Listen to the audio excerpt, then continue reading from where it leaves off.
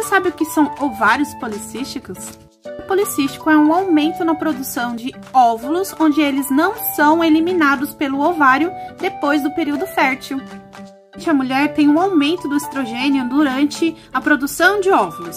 Então ela produz alguns óvulos, estimula alguns óvulos, porque nós já nascemos com os óvulos contados, gente. É 1 a 2 milhões de óvulos por mulher, tá?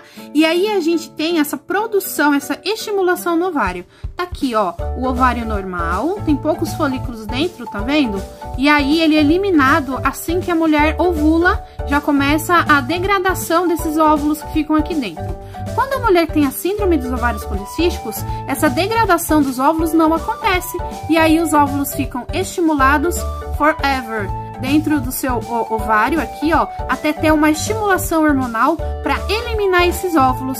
Normalmente os médicos receitam alguns medicamentos como anticoncepcionais, mas existem mais tratamentos modernos que podem ser utilizados para essas mulheres que têm ovários policísticos.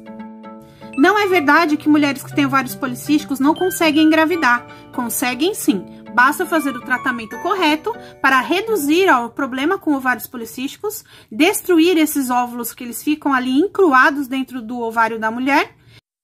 Com o tratamento dos ovários policísticos e eles controlados, a mulher começa a ovular menstruar normalmente. Então, conversa com seu médico. Eu também recomendo que você procure por mioinositol. É um tratamento muito moderno, à base de vitaminas que pode te ajudar a regular a menstruação. Me siga para mais dicas.